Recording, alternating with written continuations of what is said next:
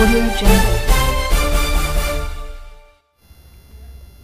एक खबर वायरल हो रही है कि आपको बीएम सिंह ने अपनी पार्टी से निष्कासित कर दिया है। आखिर क्या कारण है? क्या ये सच है? और अगर सच है तो ऐसा ऐसा क्यों है? नहीं निष्कासित नहीं कर दिया है। हमने इस्तीफा दे दिया है। कारण यह रहा कि 11 दिन चीनी मिल बंद रही गन्ना भुगतान को लेकर के। 13 दिसंबर को समझौता हुआ। समझौता में ज़िले के मुख्य मुख्य विकास अधिकारी महोदय के हस्ताक्षर हैं।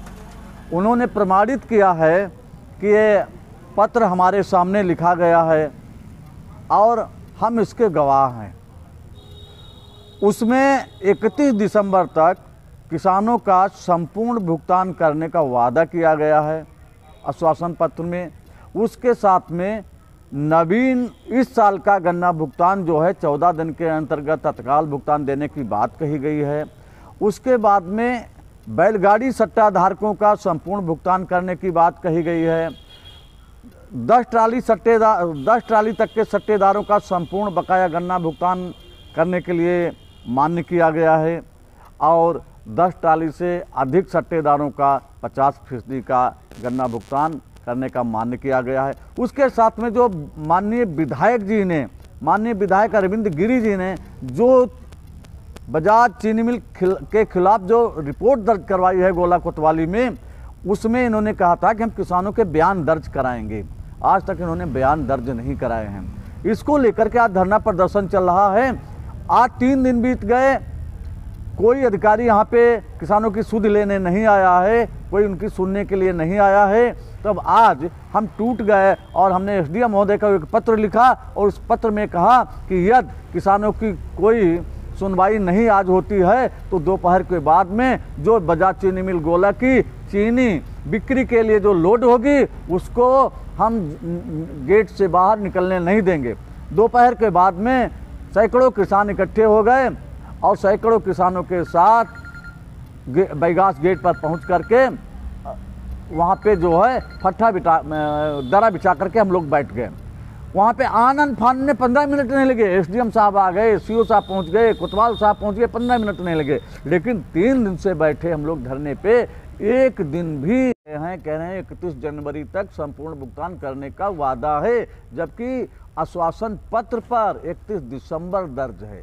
आज तक जो आश्वासन पत्र में वादा किया था, उसमें एक भी बिंदु पर उन्होंने हल नहीं निकाला है किसानों के खातों में पैसा नहीं दिया है। इसलिए आज कुशाग्र बजाज जी ने माननीय बीएम सिंह जी को फ़ोन करके या कैसे भी इन, इनके इनके ऊपर कुछ कहा होगा। कहने के बाद में उनके दबाव में बीएम सिंह जी ने हमको फ़ोन किया कहा कि ये धरना हटाओ धरना करने का समय नहीं है इनको समय दीजिएगा आगे धरना कर, करिएगा।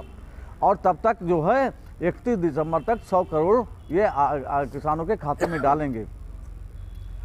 हमने कहा ऐसा ऐसा नहीं हो सकता है। ये ती, तीन बार इन्होंने वादा खिलाफी की है। पहले विधायक जी को पत्र लिखा फिर एसडीएम महोदय को लिखा अब मुख्य विकास अधिकारी महोदय को लिखा।